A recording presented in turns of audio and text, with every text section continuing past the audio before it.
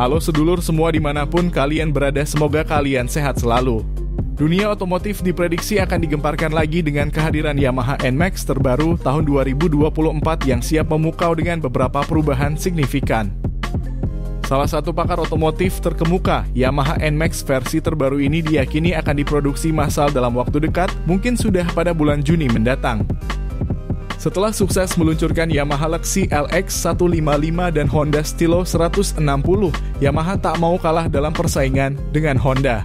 Dengan kemungkinan perubahan total, Yamaha NMAX 2024 diprediksi akan menjadi sorotan utama dalam waktu dekat. Bahkan, testimonial dari yang menemukan dua motor misterius yang diduga sebagai Yamaha NMAX di Subang semakin menambah sensasi. Informasinya juga menambahkan bahwa Yamaha telah melakukan uji coba terhadap NMAX versi terbaru sejak tahun lalu menandakan bahwa persiapan Yamaha sangat serius dalam menghadirkan inovasi terbaru ini.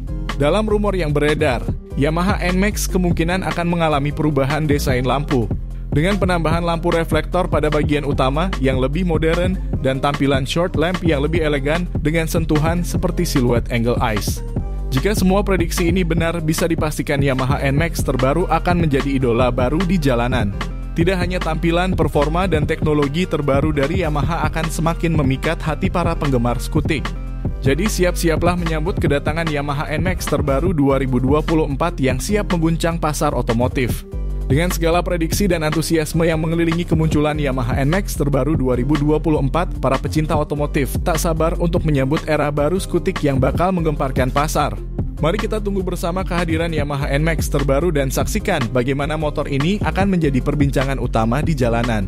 Terima kasih atas atensinya pada video kali ini. Jangan lupa untuk klik tombol subscribe, like, dan komen, serta share ke seluruh akun media sosial kalian semua agar tidak ketinggalan informasi seputar otomotif. Sampai jumpa pada video selanjutnya.